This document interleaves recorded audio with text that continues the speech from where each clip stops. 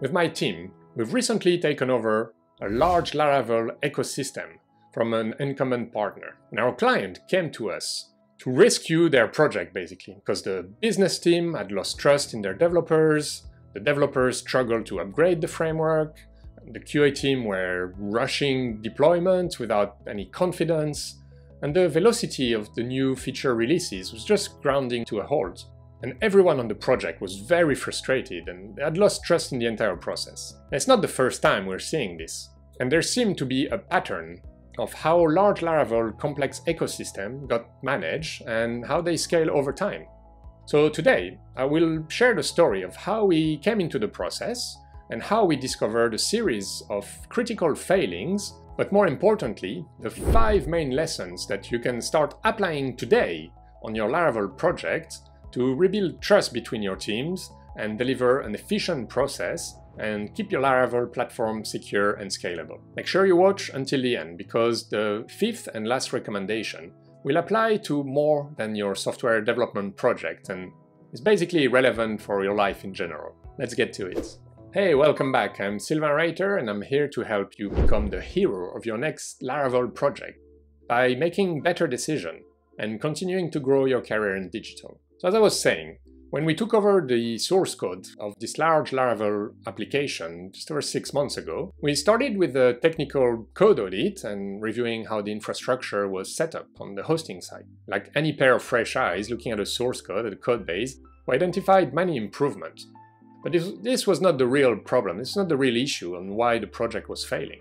Because after reviewing the whole process end to end, we identify that it's not always an issue with the developers themselves, and it's usually a team failing, because there's a lot of inefficiencies across the whole process end to end. The first point we identify was starting from the very top, where you need to align the business vision, the technical delivery. So every web application starts with a good idea, but it needs a clear vision, both for the product roadmap, but also for the team itself building the product. There can be lots of external influences disrupting the product roadmap, and but that's normal and it's and over time the complexity just increases, that's fine. But without a clear vision, you will struggle to prioritize new feature, you will rush things without thinking about the longer term impact, and it will lead to misalignment between the business vision and the technical delivery. So to solve the challenge, you really need to put a strong product owner in charge.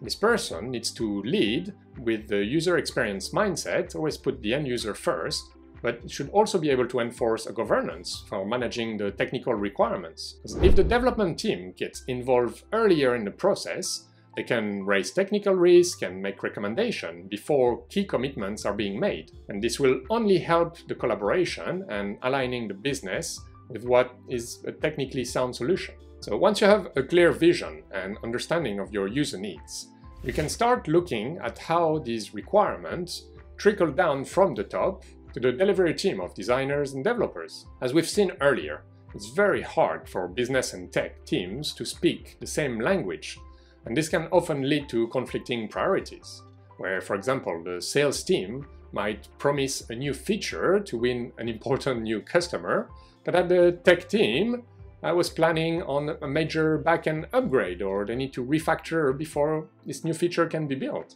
And this is where agile delivery can bring stronger collaboration. And it's not a silver bullet, trust me, it doesn't work for all businesses and sometimes or some teams, but we can take a pragmatic approach by making sure you define the process to prioritize the feature, by managing the backlog collaboratively with all the entire team, and by taking the time to plan things properly, by spending enough time narrowing down the requirements, all of that will bring more transparency and efficiency to everyone in the team. Yes, it might slow you down in the few initial releases, but it will increase the overall quality and the satisfaction of all the stakeholders. So once you have a clear vision, once you have a smooth delivery process, you can start digging deeper into the technology and plan the upgrade strategy of your Laravel framework. As we know, open source is great. We promote it all the time and really feel it's the best solution in many use cases.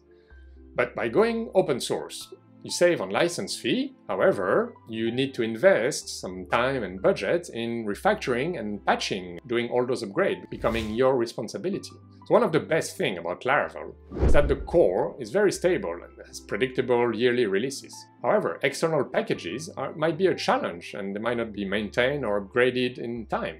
So when a new feature comes in, don't just estimate the time it takes to just make that new feature work in a few lines of code. But you need to think about all the dependencies and estimate whether there might be opportunities to uh, refactor the underlying features and existing code to make this new feature work better more scalable, better tested, and you need to think about all of that. Once this is part of your process, you just need to enforce software delivery principle and best practices around managing pull requests and enforcing code reviews, embracing automation and DevOps, and all of that will save you time and remove human errors.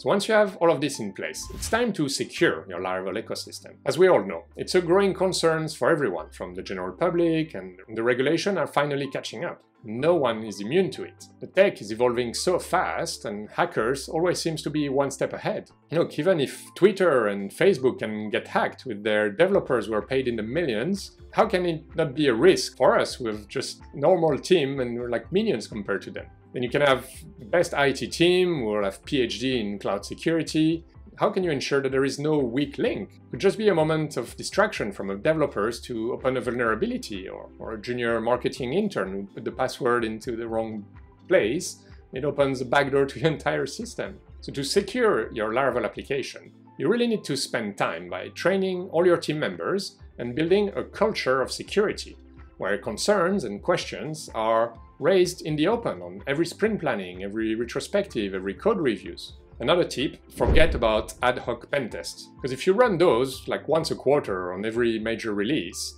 they will get out of date by the moment they're published, as we've seen. So what we started doing with our partners is continuous security testing, where we try to break in our client system before the bad actors can get in. Really, this is the only way to outpace the genuine cyber threat actors, so reach out if you want to learn more. And finally, like everything in life, you need to embrace continual improvement. Unfortunately, even with unlimited budgets and the best product owners and amazing developers, there will always be room for improvement. Because no one is perfect, the team motivation might fluctuate, and it's IT, right? something will always go wrong. So you need to embrace changes and learn from sprint retrospective. You need to listen to each other, you need to communicate all the time, you need to document the process and the key decisions that are being made at all stages.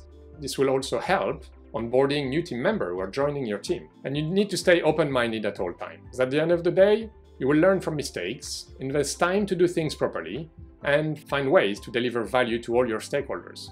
Look, if you focus on end users, customers, if your stakeholders were paying the bills, and your coworkers in UX, marketing, dev, and QA, if you manage to keep everyone happy and working better together, you will be able to solve most of your challenges and you will achieve great efficiencies with your Laravel ecosystem. So those are the five main lessons that we discovered and are applying to all the new projects that we're taking over on the Laravel framework. But the secret is that it does not only apply to Laravel, yeah, the same challenges are faced by most teams working on digital transformation projects no matter the framework. So that's it for today. If you have any questions about anything Laravel related or digital transformation in general, feel free to leave some comments below or reach out on Twitter or LinkedIn.